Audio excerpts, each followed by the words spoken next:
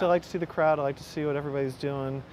Make sure that everybody's happy, everybody's dancing if, if possible. And, uh, you know, if they're not happy, I like to ask them, you know, is something wrong? You guys okay? Need water? Can I get you something?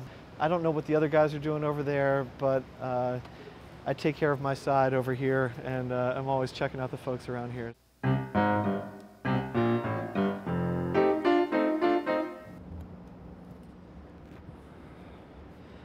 This is kind of a special keyboard.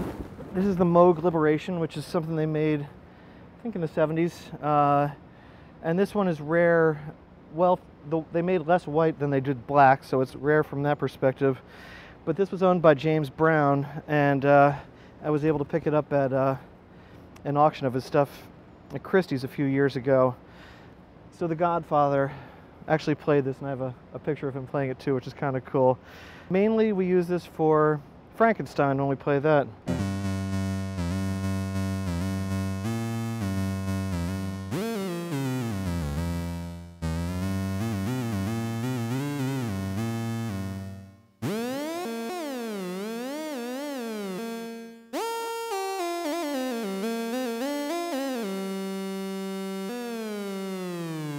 Has a few other sounds. Uh, it's monophonic, which means that it can only play one note at a time. It will not play chords. Uh, and that is the same for the Little Phatty as well. That's also a monophonic synthesizer as opposed to my Yamaha CS60, which is polyphonic and can play, uh, that, that can play up to 10 notes at a time. Um, so this is kind of a prize and uh, something we don't take out too often. But for this interview, we took it out.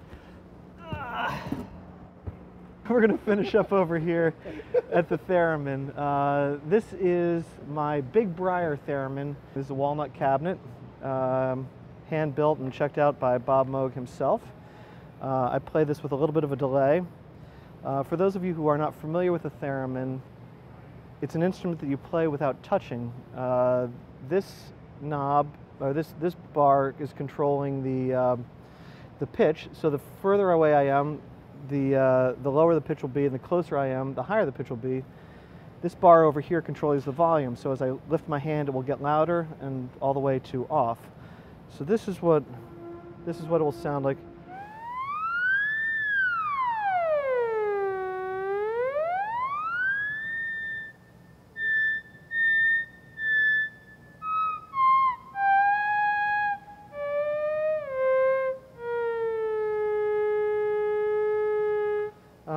And I tend to play this one with a delay to get some cool, weird Zeppelin-esque effects on it.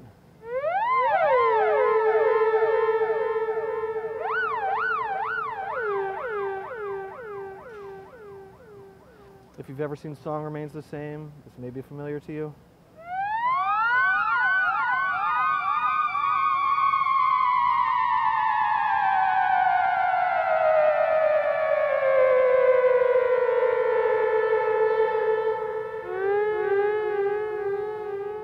It's very difficult to play. Uh, it reacts to your body mass, not just your hands, but your entire mass. You, you basically have to remain very still. If you, if, I use it more as an effect as opposed to really be trying to play melodies. And I usually only take it out during kind of crazy jams, but it is something that, that requires perfect stillness if you want to.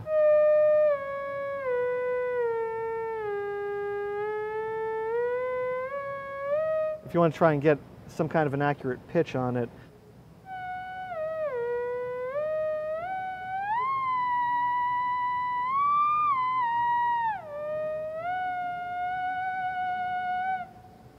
It's not easy.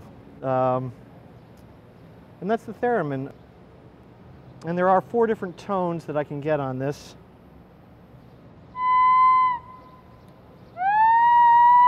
Subtly different tones.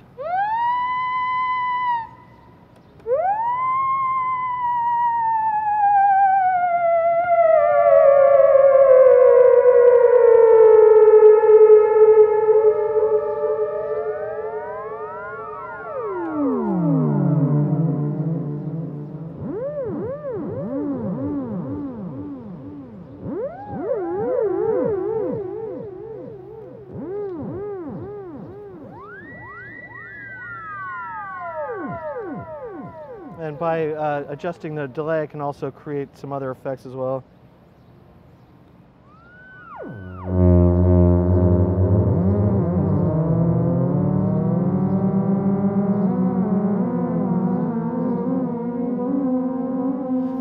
Just by adjusting the delay time and the amount of feedback that comes out of it, can get a kind of feedback and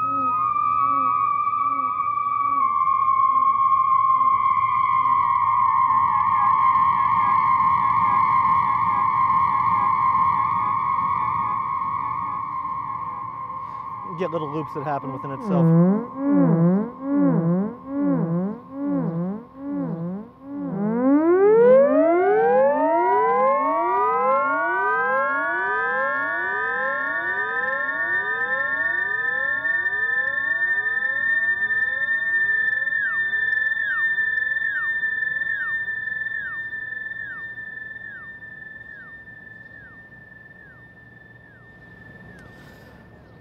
And that concludes the demonstration of the theremin. Hope you've enjoyed the tour of my rig. Hope you enjoy the show. Thanks.